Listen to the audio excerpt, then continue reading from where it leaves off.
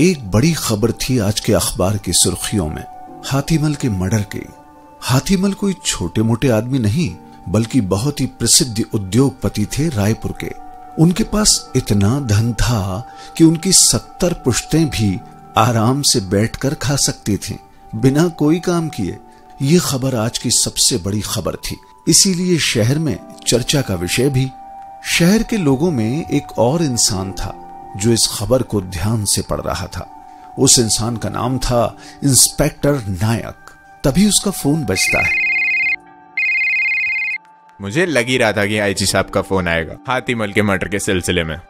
नायक ने फ़ोन उठाया और बोला गुड मॉर्निंग सर।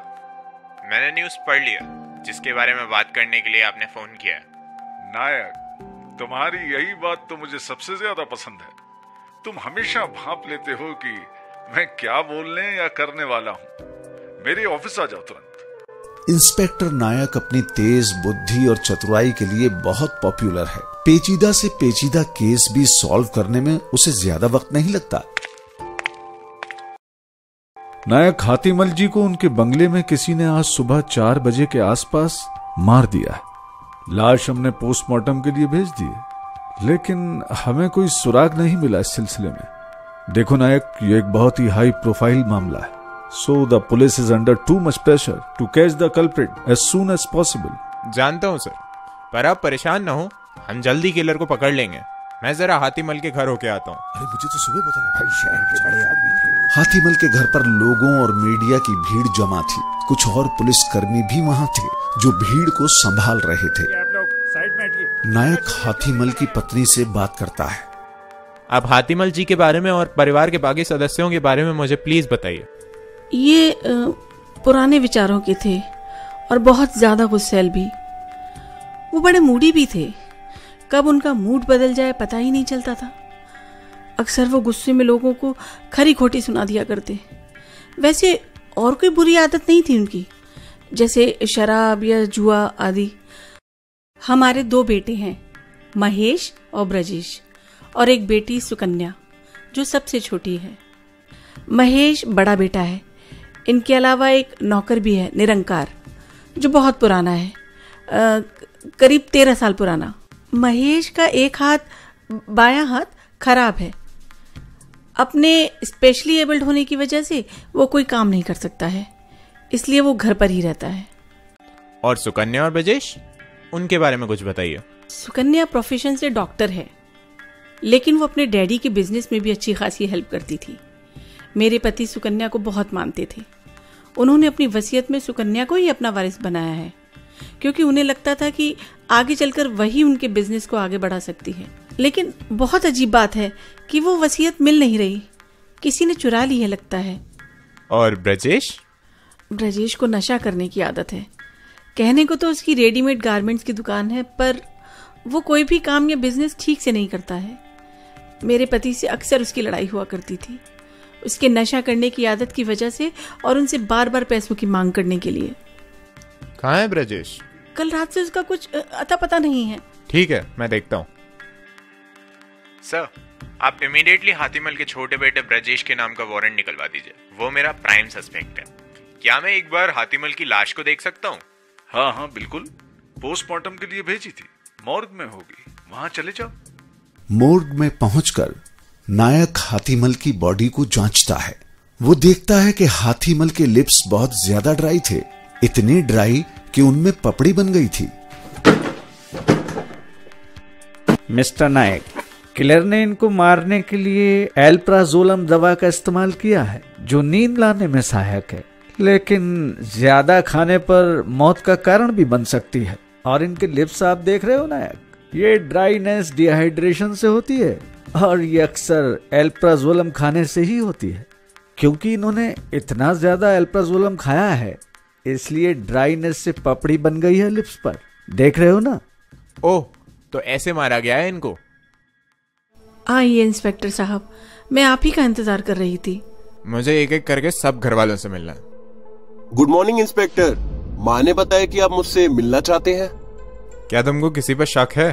और क्या तुम्हें अपने पिता की किसी वसीयत के बारे में कोई आइडिया है? नहीं मुझे किसी पर शक नहीं है। और मुझे अपने पिता की किसी भी वसीयत के बारे में पता नहीं है। वैसे पता होता भी तो क्या होता? मुझे प्रॉपर्टी और पैसों से कोई लगाव नहीं है।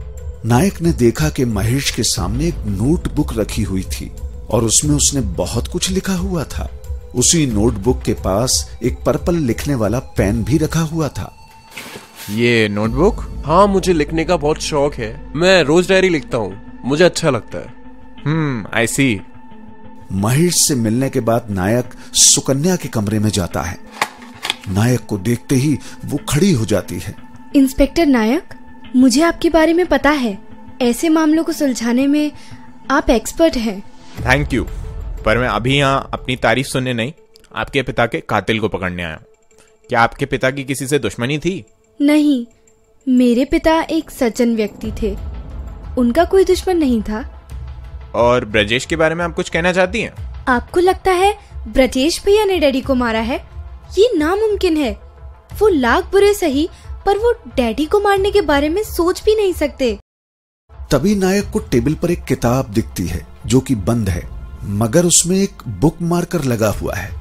वो उस पेज को खोलकर पढ़ता है जिसमें बुक मार्कर लगा होता है। तो उसकी आँखें फटी रह जाती हैं। वो सुकन्या से बिना कुछ डिस्कस किए हुए बोलता है। ठीक है मैं चलता हूँ।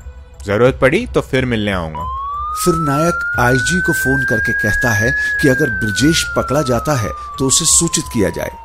अगली सुबह आईजी नायक को फ़ोन कर बताते हैं कि ब्रजेश को पकड़ लिया गया है और जब वो पकड़ा गया तो वो पूरी तरह से नशे में था। ब्रजेश से मिलने नायक पुलिस स्टेशन जाता है। ब्रजेश तुमने अपने पिता की हत्या की है। हमेशा शक है नहीं नहीं मैंने अपने पिता को नहीं मारा है। लेकिन हाँ मैंने उस रात उनके साथ झगड़ा किया जब मुझे पता चला कि उन्होंने सारी प्रॉपर्टी और पैसा सुकन्या के नाम कर दिया है। किसी को भी यह सुनने पर गुस्सा आएगा। उसके बाद मैं नशा करके सो गया। अपने घर से कुछ दूर एक पार्क में। मैं भागा नहीं था और मुझे कुछ याद भी नहीं है। ये लोग मुझे नींद से ही पकड़ कर ले आए। अच्छा एक बात मुझे बताओ।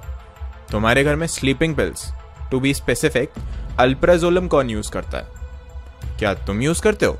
नहीं मैं तो अल्प्राजोलम यूज़ नहीं करता मगर और ब्रजेश ने नायक को कोई नाम बताया? ये नाम सुनकर नायक हैरान हो गया और बिना कुछ बोले हाथीमल के घर के लिए निकल गया। हाथीमल के घर पहुँचने पर वो सीधे महेश के कमरे में गया।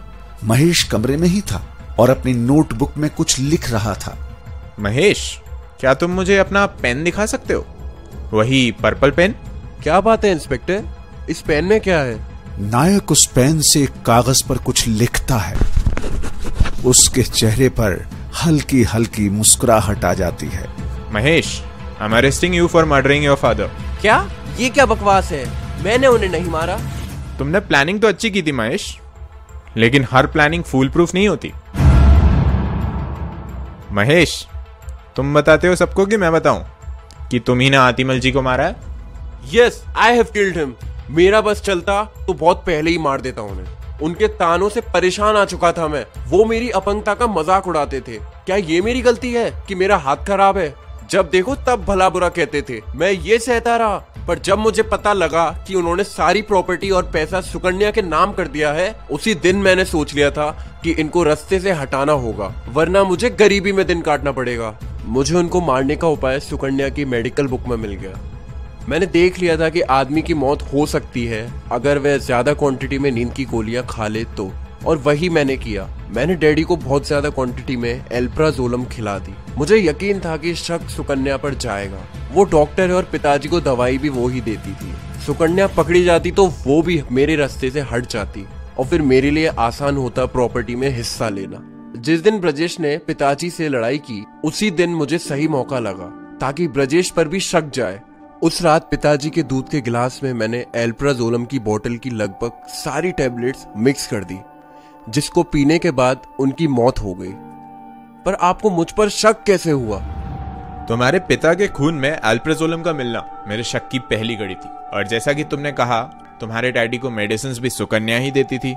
उसके बाद सुकन्या की मेडिकल बुक में मुझे एक टेक्स्ट दिखता है, जो एल्प्राजोलम के साइड इफेक्ट्स के बारे में था। वह टेक्स्ट पर्पल पेन से मार्क था। तो सुकन्या के डॉक्टर होने के नाते, यह सब उसी के मर्डर होने की तरफ़ इशारा कर रहा था। लेकिन ब्रजेश ने पुलिस स्टेशन में मुझे बताया कि तुम कभी कभी नींद की गोलियों का इस्तेमाल करते हो जब तुम्हें नींद नहीं आती। उसने मुझे यह भी बताया कि तुम मेडिकल की किताबें भी बहुत उत्सुकता से पढ़ते हो। यदि सुकन्या ने अपने पिता को मारा होता तो वे कभी भी दवाई का इस्तेमाल नहीं करती, क्योंकि इन दैट केस शक सीधे उस पर जाता। और वो तुम्हारा पर्पल पेन जिसको तुमने सुकन्या की बुक में टेक्स्ट को मार्क करने के लिए यूज़ किया था, मुझे दिखा। तुमने यही गलती कर दी कि वह पेन इस्तेमाल करते रहे। और मेरा शक यकीन में तब बदला जब मैंने छुपकर तुम्हारे रूम की तलाशी ली और तुम्हारे पिता की वसीयत मिली एक तस्वीर के पीछे से। तो मुझे ये उम्मीद है कि तुम चुपचाप मेरे साथ पुलिस स्टेशन चलोगे।